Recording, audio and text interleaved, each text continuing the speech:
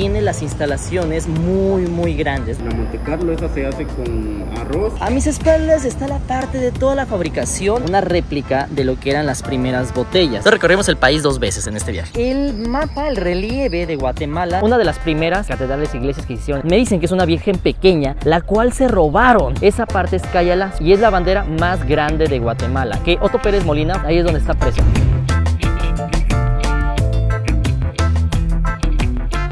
Señoras ¿cómo están mis hermanos? Sean bienvenidos a un nuevo video. ¿Cómo están mis hermanos? El día de hoy nos encontramos en un punto bastante interesante. De hecho, nos encontramos en la ciudad de Guatemala, zona 1, para ser más precisos, pero nos encontramos en uno de los puntos más interesantes. Y este, de hecho, mis hermanos, se llama el Cerro del Carmen o el Cerrito del Carmen. Resulta ser que se encuentra en un punto bastante alto de la zona 1 y algo muy interesante es esto que tengo a mis espaldas. Esta, de hecho, es la primer, eh, bueno, una de las primeras catedrales e iglesias que hicieron en esta parte. De hecho, para aquellos que no lo sepan, es de culto católico y cuenta desde el año de 1620 y era en ese momento un templo franciscano. Tiene datos interesantes, ahorita les voy a decir uno muy interesante, pero uno de los que más me llamó la atención que me estuvieron diciendo, eh, lamentablemente está cerrada, pero Vénganse para acá, miren, les voy a mostrar de este lado. No sé si alcanzan a ver esta cruz que tengo a mis espaldas. Resulta ser que uno de los datos interesantes que nos contaron ahorita este mi amigo Leo es de que de hecho esta cruz se colocó por la parte de que había leyendas. ¿Sabes? Que de repente que el sombreruro, que de repente la llorona y que roban aquí, que los espíritus y todo eso. Entonces resulta que el padre de ese entonces toma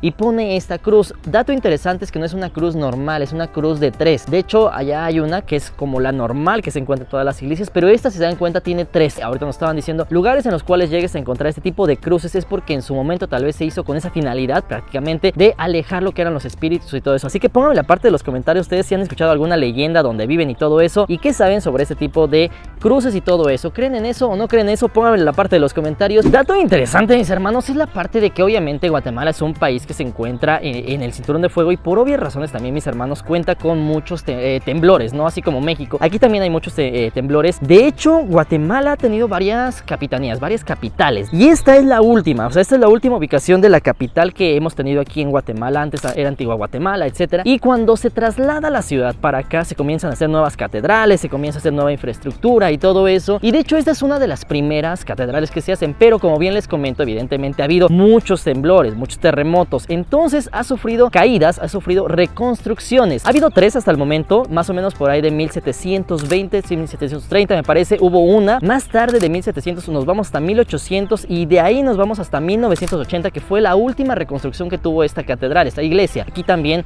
llega muchísima gente, se hacen ferias me parece que para julio y uno de los datos interesantes también mis hermanos es de que cada una de las iglesias católicas cuentan con lo que es una virgen, una virgen que es la patrona de ese lugar. Vaya, uno de los datos interesantes es que de esta, de esta es una virgen pequeña. No la pudimos ver porque está cerrado, pero me dicen que es una virgen pequeña, la cual se robaron.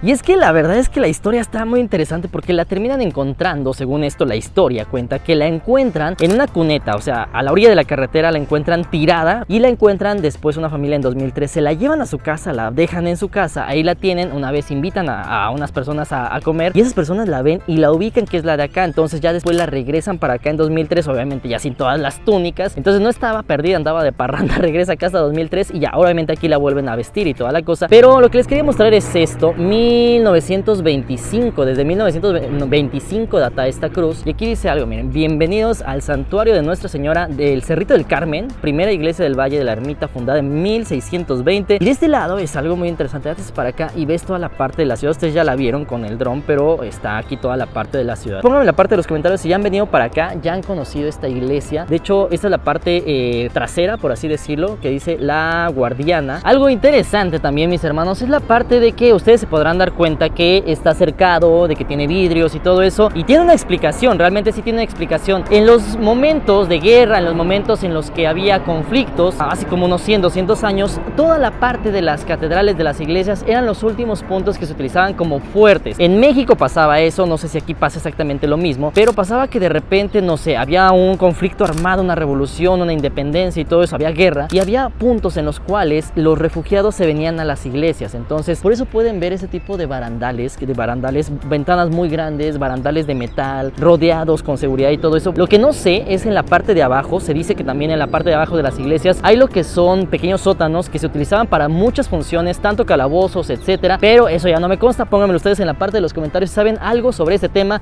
y mientras les sigo mostrando. Y también algo que es muy interesante de la parte de la arquitectura de las catedrales y todo ello es la herencia cultural, la herencia arquitectónica que tenemos porque este tipo de esculturas es algo que realmente es, es impresionante el nivel de detalle que tienen. ¿no? Un dato interesante, mis hermanos, es que toda esta parte, toda esta zona pertenece a la iglesia. Tú puedes ver para abajo lo que son más gradas, puedes ver cosas interesantes, está muy bonito, muy bien cuidado, pero la vista de aquí es muy padre, es muy impresionante. Algo que sí les quería contar y ahorita me estaban contando la parte de los lugares que se pueden ver desde aquí. Este, por ejemplo, vamos a empezar por este edificio que se puede ver de este lado. Este que alcanzan a ver así como que color jade más o menos. Era en su momento el edificio en el cual se hacía toda la parte del diario El Gráfico. Adelante tenemos de este lado ya al fondo de ese lado donde se alcanzan a ver los techos rojos. Esa parte es Cayala, ciudad Cayala, se puede ver ahí. Al ladito está el edificio blanco, que es donde está la parte de la embajada de los Estados Unidos. Un poquito más para acá nos vamos moviendo y ya tenemos a la parte de zona 18, zona 6 y terminamos hasta este punto que les quiero mostrar. Miren ahí hasta donde está apuntando mi dedo. Esa es zona 16. Lo que quiero que vean y no sé si se alcanza a ver pero es una bandera que yo sí alcanzo a ver desde aquí y es la bandera más grande de Guatemala. Esa que alcanzan a ver ahí es la bandera más grande de Guatemala que mide 35 metros por 15. Es una bandera impresionante, desde aquí se alcanza a ver, no tengo la distancia exacta de cuántos metros, sea cuántos kilómetros, pero está lejísimos y se alcanza a ver hasta allá. Y en ese lugar donde se alcanza a ver la bandera, de hecho, es un campo militar, es un campo militar al cual no puedes acceder, evidentemente, pero dato interesante es de que nos estaban contando que Otto Pérez Molina fue un presidente que estuvo en funciones hace como 8 años, por ahí más o menos, y lo metieron a la cárcel hace poco. Entró a la cárcel, la noticia llegó a México, se hizo un notición y lo metieron a la cárcel, pero dato curioso es que se encuentra en ese lugar donde podemos ver la bandera, ahí es donde está preso. Así que dato interesante del día de hoy y vamos a continuar.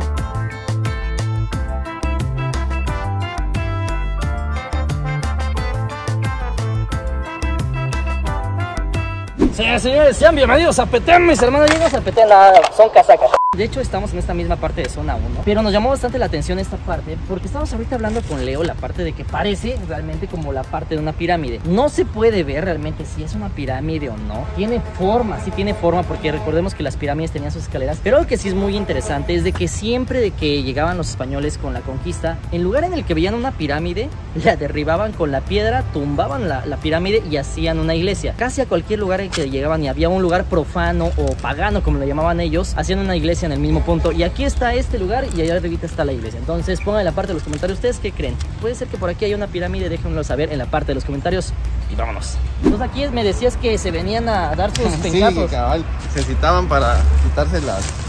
Para, para- para arreglar cuentas del colegio. Te ven la ceiba vos. Ajá, Y ya se venían a revolcar ahí. Ajá, ya se sabía que ese era el punto donde se venían a... Aquí todo el mundo se venía a A agarrar a trancazos. Exacto. Nada más cómo cambian las cosas, ¿no? Ah. Robles o Candelaria. A ver, pónganos en la parte de los comentarios ustedes de qué colegio eran, Robles o Candelaria, y si alguna vez vinieron a darse sus buenos lategazos por acá, diría el magia. Así que pongan en la parte de los comentarios, está interesante el tema. No podemos acabar este lugar, mis hermanos. Yo siempre en todos los videos les digo que todos somos hermanos y que más aún México y Guatemala tienen muchísimas cosas en común, muchísima amistad. Yo no sé por qué luego estamos peleando, pero un dato interesante es esta plaza, que algo muy padre es de que unifica o junta la parte de las dos culturas. Podemos ver aquí que dice eh, esta parte de vitrales, podemos llamar, o mosaicos, de General Matías Galvez gobernó la capitanía de Guatemala de 1778 a 1783. Dato interesante es que este, este, este tipo no solamente gobernó la capitanía de Guatemala, sino que era el virrey de la Nueva España. Es decir, este tipo de, realmente gobernó desde la parte, desde el sur de Estados Unidos actualmente, todo California, Nuevo México, Arizona, todo eso, toda la parte que conocemos de México y toda la parte que conocemos actualmente como Guatemala y todo eso. Entonces gobernó un gran territorio entre 1778 a 1784. Ah, no, murió en México en 1784. Vénganse para acá. Bueno, aquí abajo, dato interesante, podemos ver esto que, está muy interesante. Mira, eh, está la parte del Palacio de México y el Palacio de Guatemala. Muy parecidos, muy hermanados, culturas muy hermanas. Vengan para acá. eh, Avenida Juárez 18, ahorita les digo el por qué les estoy diciendo esos datos. Fray Payo Enrique Riveres, obispo de Guatemala. Y eh, introdujo la primera imprenta. Él introdujo la primera imprenta, pero lo que sí quería que vieran es esto. Casa Cervantes, Avenida Juárez, 18, México, Distrito Federal. ¿Por qué se preguntarán por qué dice esto? Esto, mis hermanos, es porque el gobierno de México en su momento, esto estaba en México, era parte de la, pues sí, de la arquitectura de México y el gobierno de México lo dona a Guatemala. Es por eso que viene para acá y aquí cuando lo dona México hacen esta plaza. Toda esta plaza se hace por eso. ¿Quién la hace? La hace Jorge Ubico. Jorge Ubico la hace y aquí está todo el dato. Julio 19 de 1935, Progresista Administración General Jorge Ubico, el azulejo decorativo de esta fuente fue obsequiado por el gobierno de México y la colonia mexicana.